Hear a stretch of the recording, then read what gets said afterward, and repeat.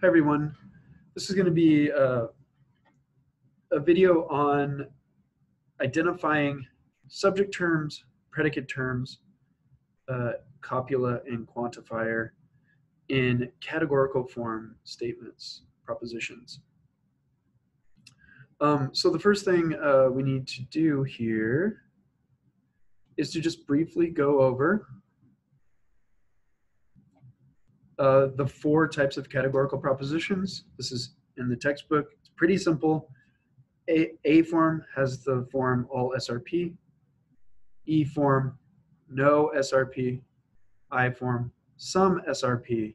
And O form, some SR not P. So, um, so that's, that's pretty much it. Um, okay, so let's go back and work a few of these out.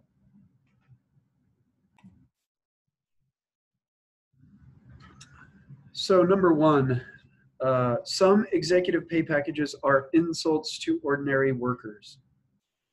All right, so the quantifier here is either universal or particular. So remember, A and E statements have universal quantifiers, all or no. And then um, I and O statements have particular quantifiers, some, and some are not. So here's some, is a particular quantifier, uh, and the quantifier itself is some. The subject term is what comes before the copula, or, or is the subject term, the subject of the statement. So executive pay packages is the subject term. R is the copula. It's the thing that connects the two terms, the verb that connects the two. And insults to ordinary workers is the predicate term.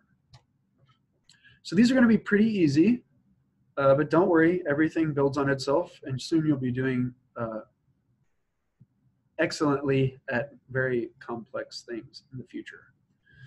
No stressful jobs are occupations conducive to a healthy lifestyle. No is our quantifier, it's a universal. Stressful jobs is the subject term.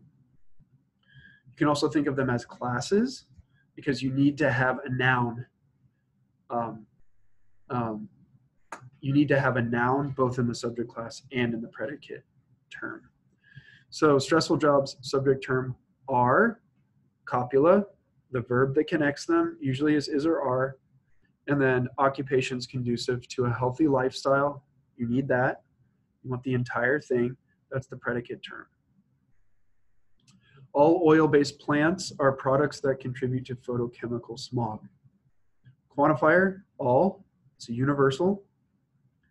Oil-based plants, subject term, are, verb, copula, thing that connects, and then products that contribute to photochemical smog, predicate term.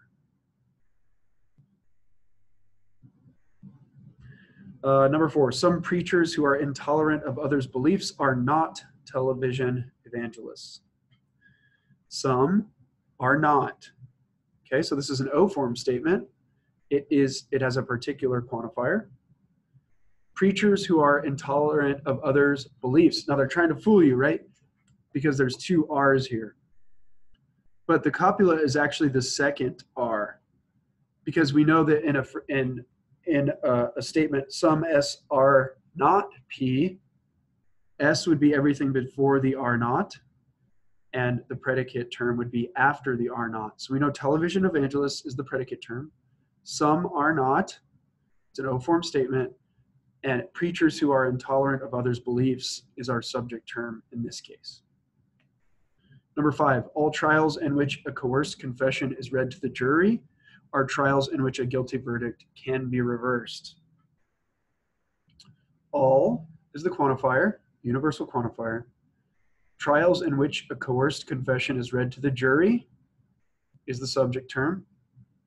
Are uh, copula, and trials in which a guilty verdict can be reversed is our predicate term. Now we'll get into this a little bit more in the future, but you might be called to change a statement into categorical form.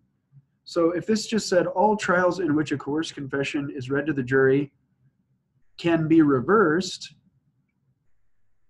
that's usually how we would say it in everyday language.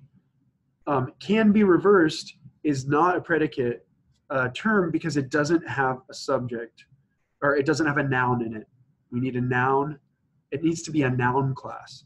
So you'll see here that they use kind of strange language. They say all trials, blah, blah, blah, are trials. They restate trials, but that's because we need this in categorical form.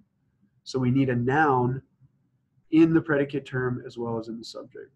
Same thing happens if you say, uh, Justin is my teacher. Um, uh, that's a kind of a confusing one, but the way that you would make it categorical form would be all people identi- identical to Justin are people who are my teacher. So see, we had to add the word people there because we need a noun in that term to create a class of individuals. All right, we'll do one more. Uh, number six. Uh, you should be able to get these now. It's it's uh, this is this is the baby steps. Um, some artificial hearts are mechanisms that are prone to failure. Some is the quantifier. It's a particular quantifier. Artificial hearts is the subject term. Are copula and mechanisms that are prone to failure is our predicate term. So you should be able to do the rest of these. Uh, I hope you found this video useful and uh, keep learning logic and developing your minds.